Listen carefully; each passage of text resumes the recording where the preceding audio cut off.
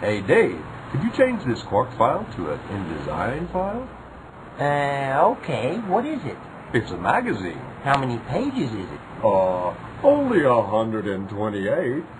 Uh, okay. Well, when do you need it? Yesterday. But Monday will be okay. Wow. Uh, okay. Well, send it to me and I'll finish it over the weekend. I sure would appreciate it. Gotta be ready for that big meeting on Monday morning.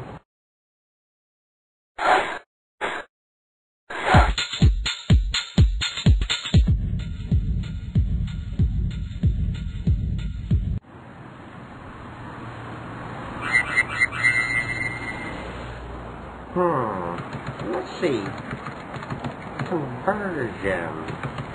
Hey, what's this? ConversionNews.com. Good morning, Dave. I sure hope you finished that file for me. I'm on the way to that big meeting. Well, of course I did. I sent it to you five minutes ago. Wow, great job, man. Remind me to give you a raise. ConversionNews.com, your ultimate source for file conversions.